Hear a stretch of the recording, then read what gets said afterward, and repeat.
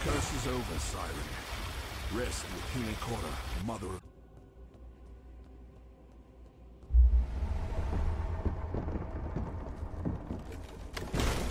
Doresso gave me the gem, kissed me, promised that he would be by my side forever.